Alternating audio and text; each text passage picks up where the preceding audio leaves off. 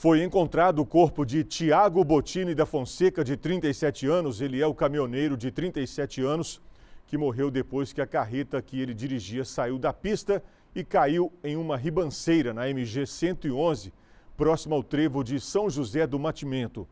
O acidente aconteceu na última sexta-feira. Na manhã de sábado, equipes do Corpo de Bombeiros, com o auxílio de um caminhão guincho de uma empresa de Manhuaçu, foram até o local do acidente.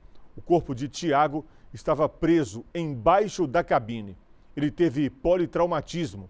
Ele teria saído de Colatina, no estado do Espírito Santo, com a carreta carregada de carnes e seguia para o estado de São Paulo.